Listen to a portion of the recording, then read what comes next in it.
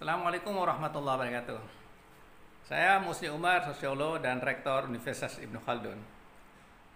Kepada anak-anakku, tamatan SLA, orang tua, dan yang sudah masuk di perguruan tinggi, saya menyampaikan berita yang sangat penting sekali untuk diketahui bahwa Universitas Ibnu Khaldun hanya satu yang beralamat di Jalan Pemuda 1, Kafling 97, Rawamangun, Jakarta Timur. Universitas Ibnu Khaldun ini bernaung di bawah Yayasan Pembina Pendidikan Ibnu Khaldun. Universitas Ibnu Khaldun tidak ada cabang di Rorotan, tidak ada cabang di Buaran, tidak ada cabang di Cikarang.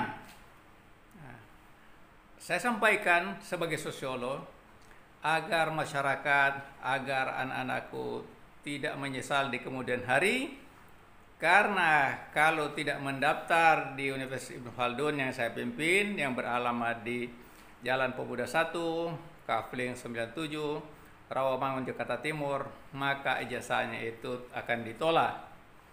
Kalau menjadi pegawai negeri tidak diakui ijazahnya untuk meningkatkan kedudukannya atau pangkatnya.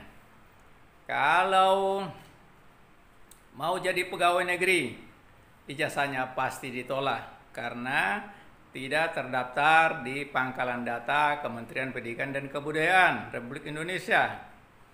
Kalau mau jadi pegawai BUMN begitu juga ditolak.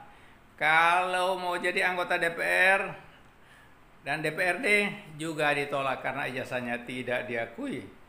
Oleh karena itu, saya mengajak orang tua, anak-anakku tamatan SLA, ayo bergabung di universitas yang saya pimpin yang beralamat di Jalan Pemuda 1, Kafring 97, Rawamangun, Jakarta Timur.